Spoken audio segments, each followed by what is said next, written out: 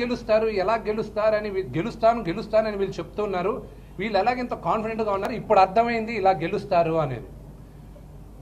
జీవిత గారు మిమ్మల్ని నేను ఒకటి అడుగుతా. రాజశేఖర్ గారితో మీరు ఒక సినిమా ఇప్పుడు ప్రొడ్యూస్ చేస్తున్నారు. మీరు ఫైనాన్సర్స్ దగ్గర డబ్బులు తీసుకొని సినిమా చేసేటప్పుడు ఈ సినిమా ఫ్లాప్ అవుద్ది ఈ సినిమా ఫ్లాప్ అవుద్ది ఈ సినిమా ఫ్లాప్ అవుద్ది అని చెప్పి డబ్బులు తీసుకొని సినిమా చేస్తారు. హిట్ అవుద్దని చెప్పే కదా మీరు డిసైడ్ చేస్తారు. హిట్ అవుద్దన్న నమ్మకంతోనే కదా మీరు వెళ్ళి సినిమా చేస్తారు. వీళ్ళకి ఏం ధీమా ఉంది? హిట్ అవుద్దని చెప్తున్నారు అని ఎవడైనా అడుగుతాడా? పాజిటివ్గా ఆలోచించాలనుకుంటారు.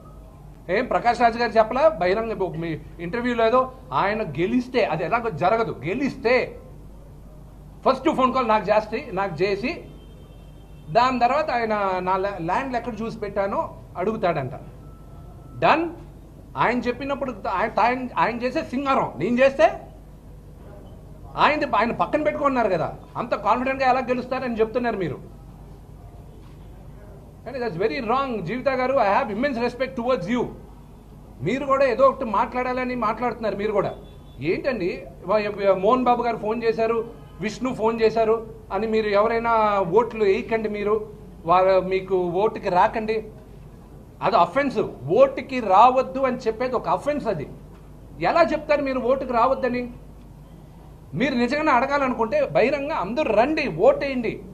నా ప్యానల్కి ఓటేయండి అని అడగండి. అంతేగాని విష్ణు గారు ఫోన్ చేశారు మోహన్ బాబు గారు ఫోన్ చేశారు. అందుకు మీరు వాళ్ళ మాటకి అవును. ఇండస్ట్రీలో ఎవరు మంచో చెడ్డో వాళ్ళకి తెలుసు. అందుకే మీరు సెకండ్ టైం ఫోన్ చేసినప్పుడు లేదు మోహన్ బాబు గారు ఫోన్ చేశారు లేకపోతే విష్ణు ఫోన్ చేశాడు. వాళ్ళకి మాట ఇచ్చాను. ఎందుకు మాట అన్న పలిక ఇక్కడ వస్తుందంటే ఇది ఒక కుటుంబం. బయట ఎలక్షన్లో అయితే మేము మాట ఇచ్చాం మేము వేస్తాం అని అనరు. ఎవడు క్లారిటీ ఎవడు మంచోడు వాళ్ళు చూసుకొని యూనో ఆల్ ప్యానల్స్ చూసుకొని వేస్తారు వాళ్ళు. ఇక్కడ ఒక ఫ్యామిలీ మా అసోసియేషన్ ఒక ఫ్యామిలీ ఇక్కడ వాళ్ళు చూసి పలానా వాళ్ళని నమ్మచ్చు నమ్మలేమని వేస్తారు. ఏంటి ఆ మాటలేంటండి? వేయొద్దు అని చెప్తారు మీరు. అంత బహిరంగంగా చెప్తారు మీరు. ఓటు వేయొద్దు వీళ్ళకి వేయొద్దు వీళ్ళ. ఏ నాలుగు రోజుల ముందు రాజశేఖర్ గారు వచ్చి నాన్నగారిని కలిసినప్పుడు ఏమైంది? Let them know uncle let them know. నాలుగు రోజుల ముందు రాజశేఖర్ గారు వచ్చి నాన్నగారితో. చెప్పనివ్వండి అంకల్ వాట్ ఇస్ రాంగ్ వాళ్ళు అసలే కొట్టుకు చేస్తున్నారు లోపల లోపల. వాళ్ళే ఓడిపోతున్నామని. మళ్ళీ మనం ఎందుకు లేదు. నాలుగు రోజుల ముందు రాజశేఖర్ గారు వచ్చి నాన్నగారితో ఏం మాట్లాడారో రాజశేఖర్ గారిని అడగండి. ఐ నాట్ సే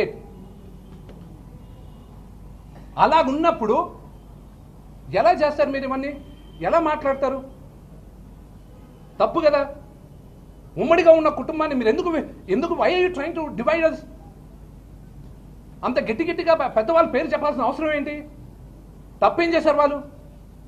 ఏదన్నా తప్పు జరిగితే మన కుటుంబంలో మనం నల- నాలుగు కోట్ల మంచి మాట్లాడుకోవాలి. వచ్చి మీడియా ముందు మీడియా ముందు అరుస్తారేంటి? నేను ఈరోజు మీడియా ముందు రాకపోతే నేను నీ తప్పు చేశానని అనుకుంటారు అందరూ. దట్ ఈస్ రాంగ్ బహిరంగ ఛాలెంజ్ చేశారు. సరేలే రా ఈయన ప్రకాష్ రాజు గారు తెలుగోడు కాదు.